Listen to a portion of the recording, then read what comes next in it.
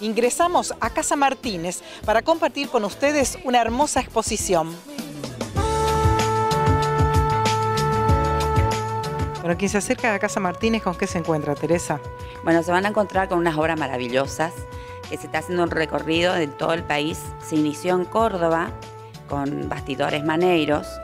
Eh, ahí fue mi, bautismo en realidad para poder mostrar mi, mi cuadro.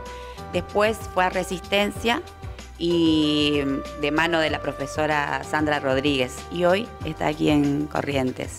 ¿En qué consiste la técnica del mosaicismo? Bueno, la técnica del mosaicismo eh, es una técnica que incluye venecitas, azulejos, espejos, eh, una intervención de telas, eh, trencadis. Trencadis, por ejemplo, si te puedo mostrar acá tenés un cuadro que está, son mosaicos bien cortados en chiquititos.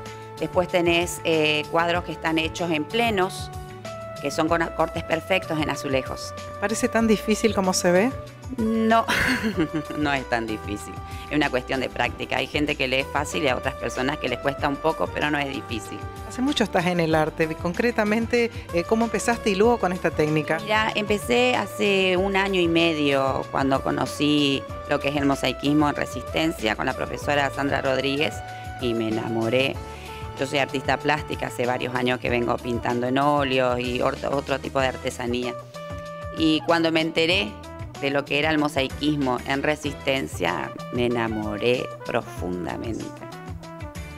¿Cómo te ves dentro de unos años, Teresa?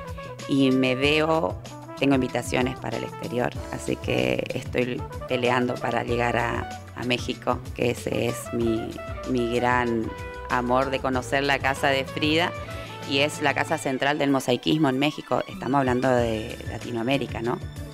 no solamente te especializás en esta técnica, sino que también transmitís, enseñás. Sí, lo estoy enseñando. Voy a avisar eh, próximamente dónde va a ser, acá en Corriente el taller. Yo lo hacía en mi casa, pero lo voy a hacer en el centro.